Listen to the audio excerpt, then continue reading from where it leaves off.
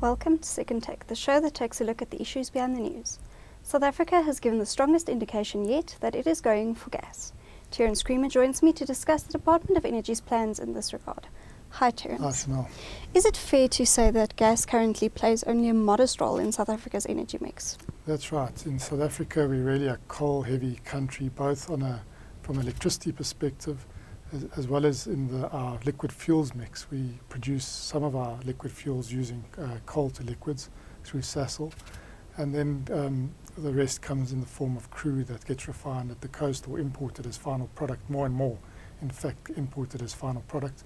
And then there is some gas that uh, is used by Sasol uh, at its uh, Secunda plants and in the Free State to produce fuel and chemicals.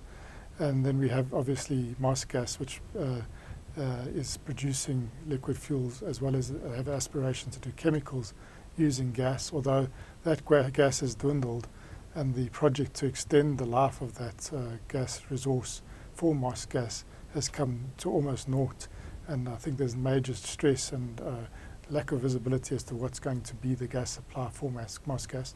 Even the so-called open cycle gas turbines uh, in the Western Cape, both at, uh, at uh, and Gourikwa, are really diesel plants.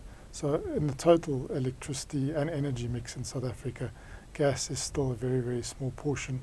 And what does come in is either from Mozambique through the pipeline to Sasol um, or through the offshore fields in the Southern Cape into Mossgas, which has dwindled.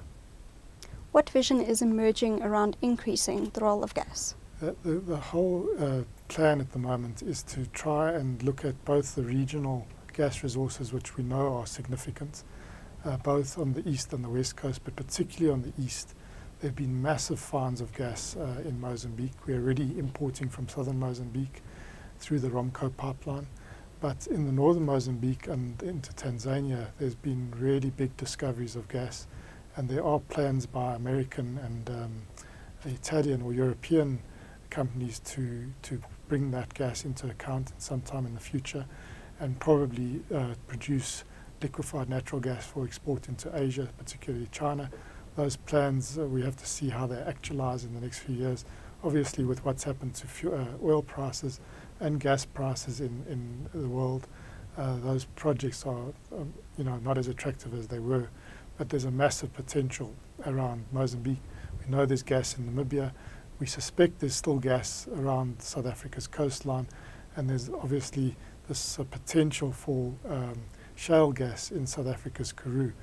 But uh, the initial vision is really to start um, introducing gas into the energy mix of South Africa through importation, and that would be uh, through a liquefied natural gas uh, importation facilities, and uh, to using that to set up a gas in, uh, infrastructure and industry in South Africa, and eventually to try and domesticate that gas. So it will be imported, dollar-based, um, and to domesticate it through probably the shale gas or the carbon methane gas as resources or anything else that we found off our own coast, or to regionalize in the form of gas that could come through from Namibia and Mozambique in the longer term.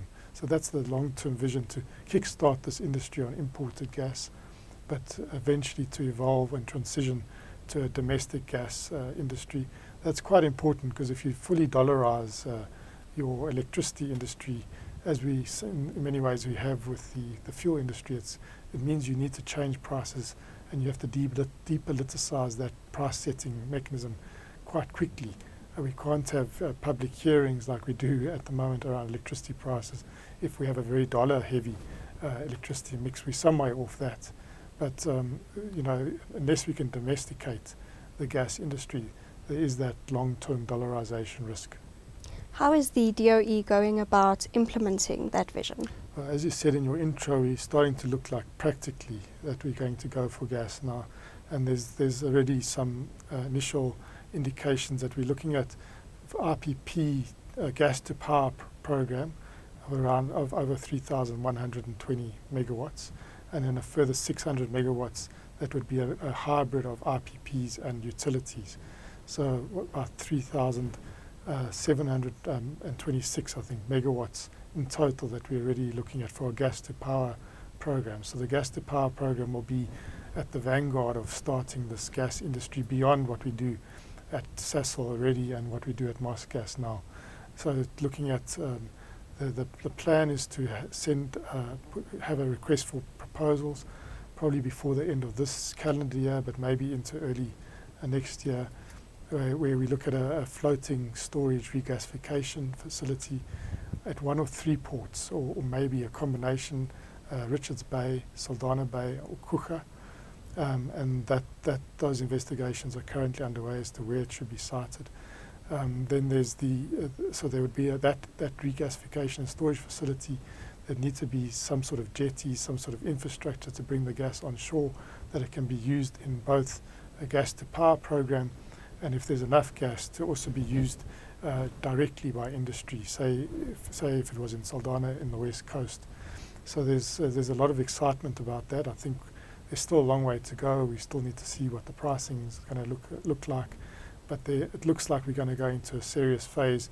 I think we're going to have some market testing during the course of the year. Already, uh, we've seen an expression of interest has been issued uh, uh, earlier this month for a 600 megawatt gas to power plant, which would be a hybrid IPP state-owned enterprise or state-owned company development and uh, that expression of interest, they're looking, testing the market currently. They want those responses by the 20th of June uh, into the IPP office, which sits in uh, Centurion, and they will then assess where they go from there in terms of a proper formal request for proposal, tender process, uh, or invitation for bids. So we're still at the early stages, but I think we're definitely at a far more mature stage than we were, than we have been for quite some time. This has been spoken about as important. It's flagged in the National Development Plan as important to try and introduce gas as a major, a more uh, bigger component into the mix. One, to de-risk our electricity system from its over-reliance on coal, but also to help as a transition um, away from our coal-heavy and climate uh, deleterious uh, uh, mix into one that is, is uh, it's, a, it's seen as a cleaner fuel with, uh, when compared to coal. It also has many advantages of being able to operate both in the form of a sort of a mid-merit and responding to uh, responding to the way the load and demand is is uh, is happening in the country in real time. So you can ramp up gas plants quite quickly uh, relative to other plants like nuclear or baseload plants like nuclear and coal. So it's got when you when you're building a lot more renewables into your system, and which which are generally intermittent, and you need to respond quite quickly to the say a, a fall off uh, because there's cloud cover in the Northern Cape. Gas is a, a, good solution for ramping up very quickly. So there's a lot of excitement about it. I think there are still risks. I think the big issue is where the gas is, how are we going to get it in, and what those prices are going to look like. At the moment, everything looks very favourable, and the tailwind there's definitely strong tailwinds for importation of gas. But as we can see, and as we know, the world changes very fast and you can have a uh, oil price one day that's trading over $100 a barrel, and then it can a uh, few few months later it can be trading at half that, and we've seen the it's now in a recovery phase to about those uh, half those levels. So there's a risk of having a big portion of your ga- gas coming in the form of imports, but as I said earlier, the, the the vision is to try and transition to a domestic gas industry. Thank you. That's the second take show for this week. Thank you for watching and join us again next time for more news analysis.